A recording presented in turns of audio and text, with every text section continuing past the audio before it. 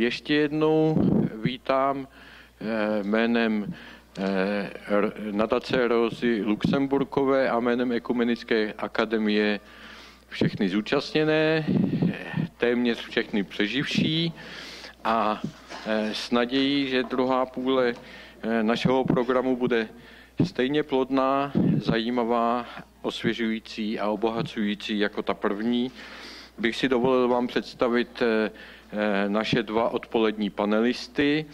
Po mé pravici sedí senátorka eh, naší horní parlamentní komory, paní Marta Majerová, pardon, Bajerová, kterou tímto mezi námi vítám.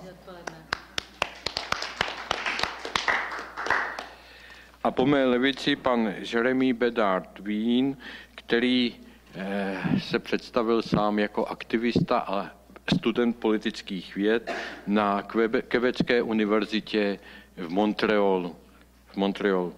Eh, já bych předal nyní slovo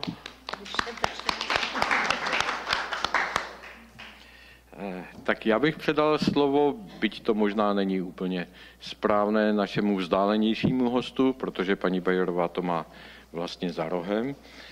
A eh, poprosil bych ho, aby přednesl svůj příspěvek a eh, doufejme, že se vypořádáme i s překladem.